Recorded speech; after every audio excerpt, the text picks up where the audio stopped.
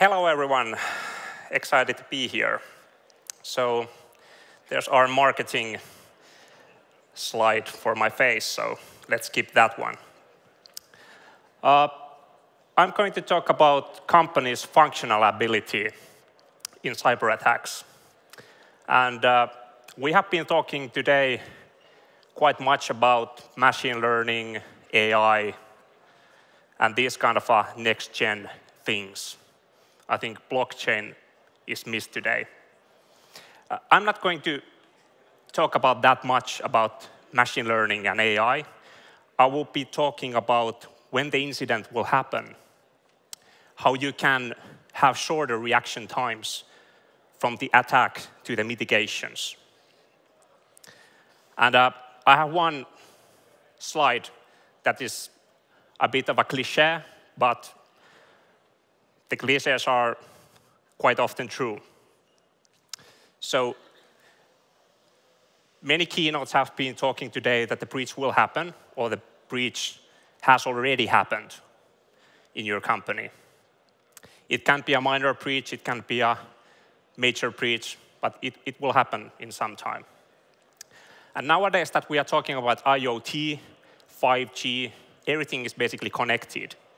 We have a public cloud, we have our old uh, legacy environments on-prem, we have a hybrid, hybrid solutions, but basically everything is connected.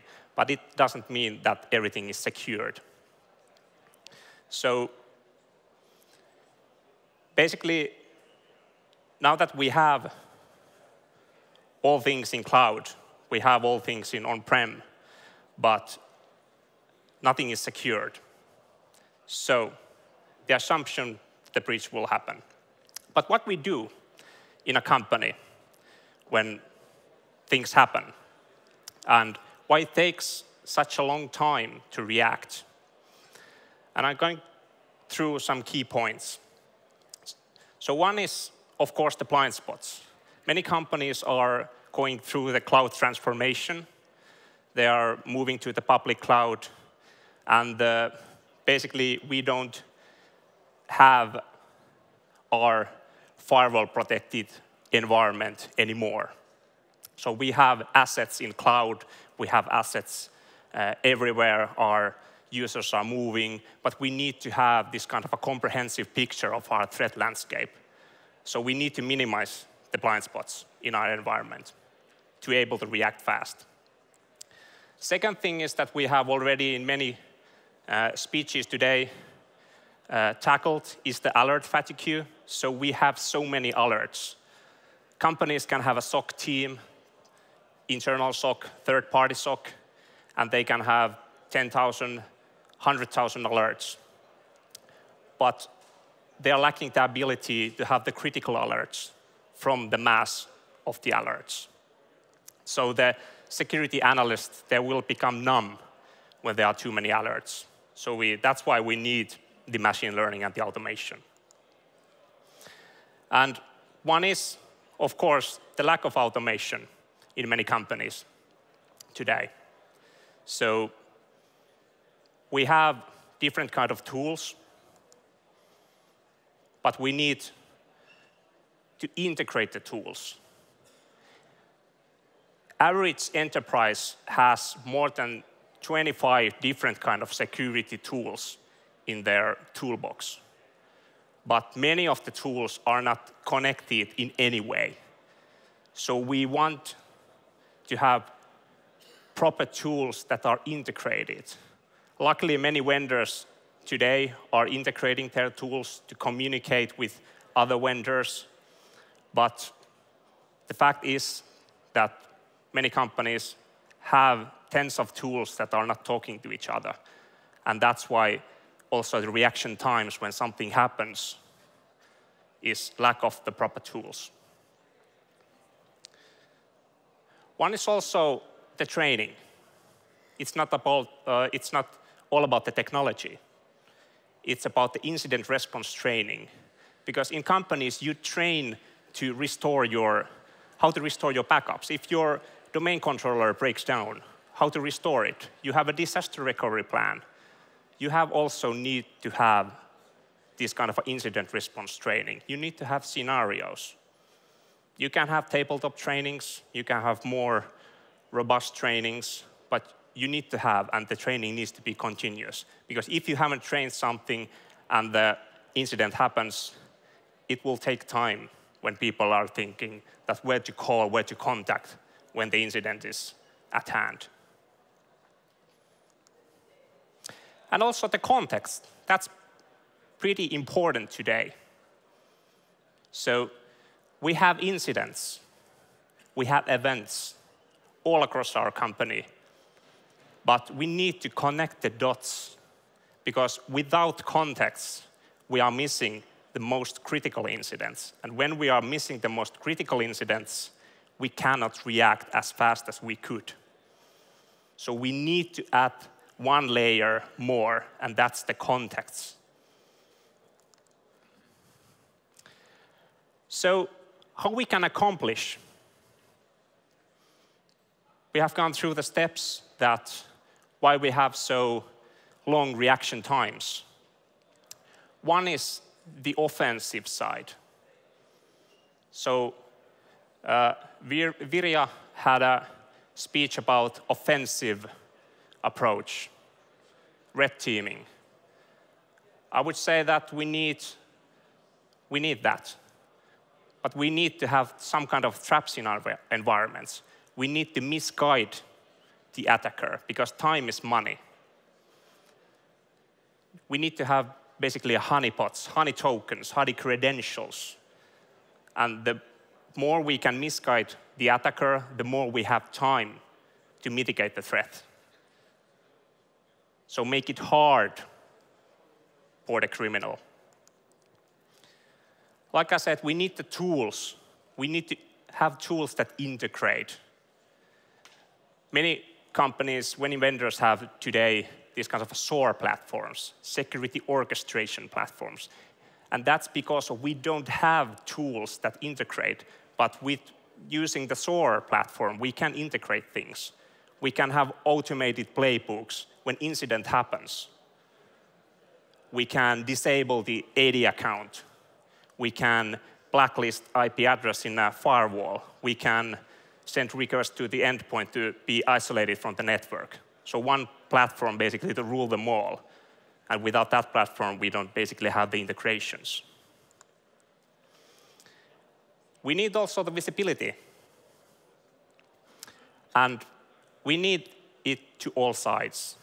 We need it in public cloud. We need the visibility in our endpoints. We need the visibility in our applications. So we need to log things. But I, am not saying that we need to log everything. Of course, you have a log management for the compliance. But if you think about security incidents, we need to log the important things. So use the logging and log things in your public cloud and also log things in your endpoint because that's maybe 90% of the attacks start from the endpoint when someone clicks something. And say no to silos. Many companies have their own security uh, team, but they still have a uh, network team, they have a server team, endpoint team, and they are not talking to each other. And when the incident happens, you need to break those silos so that everyone can join to solve the incident as quickly as possible. And for the context, we need ritual alerts. Uh, I was, I think it was September, I was in London where Trend Micro's Rik Ferguson had one kind of a keynote speech there, and he had a, one good example for the context. Because if you, have, if you don't have the context, you will miss things.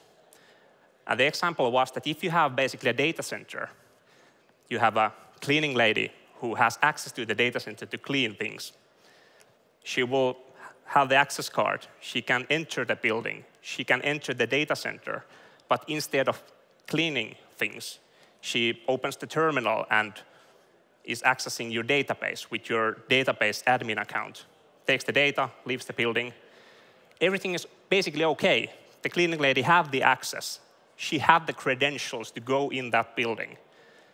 And the database admin have the access to go to the database. But if we have the context and we connect the dots, we can see that probably that was not that okay. So we need to have context. And if you think about when incidents happen,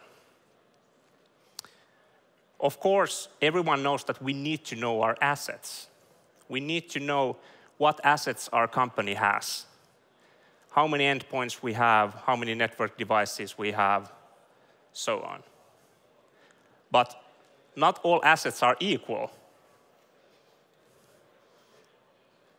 The little dinosaur is much more crucial than the big one.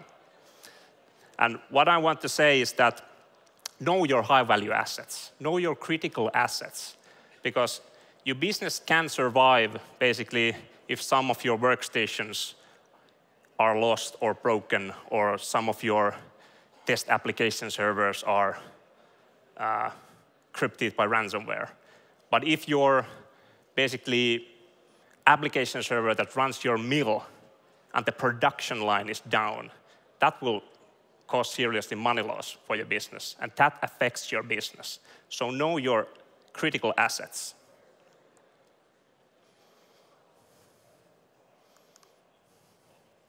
And have a security baseline. Of course, you need the security baseline for all of your assets, but you need to have more stricter baseline for the high critical assets. Like, for example, you may have a safe in your house where you keep all your valuables, but you don't store your socks in the safe. So not all assets need to have hardened the same way.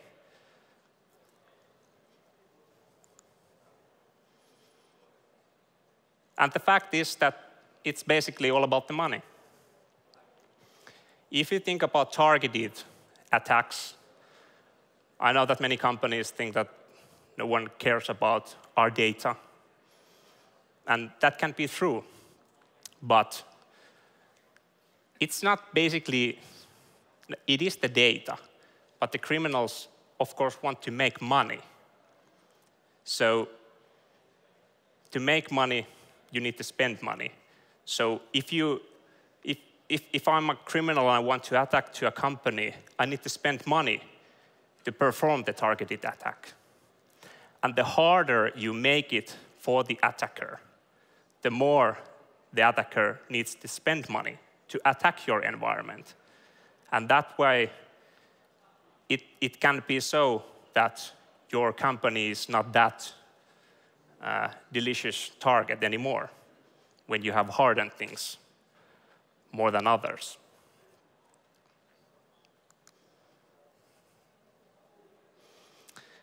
And what I really want to, that you get from the presentation is that I know that many companies have their IT budget.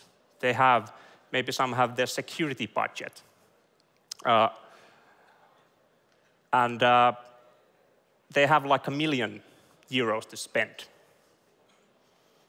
But you don't need to always have new technology. You don't need to buy new licenses because there is so much already in the environment that you could enhance. So use what you already have and configure it better.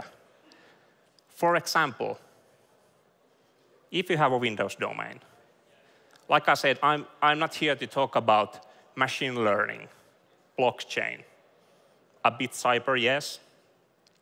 But why not to already enhance that you have? These are super simple examples. If you have a Windows domain, Windows 10 workstations, use the features that you have on the Windows 10. There are new builds that have new security features that if you don't, if you're just using the defaults, you are not getting it. Why not to use AppLocker? You don't need 500 rules. You can start with four, and then you are more secure. Why not to whitelist things? Why always blacklist? Why not to just do it in an email gateway that let's just block everything and allow the stuff we want? PDF, doc files, Excels. That's about it. If someone really needs to send you a zip file with some kind of a super important ini file, use another tool for that. Review your GPOs. It, it basically may surprise you. I know that companies have security reviews, timely based. Go through the GPOs also, like you go through the firewall, firewall rules, and you can find things to enhance or unnecessary GPOs.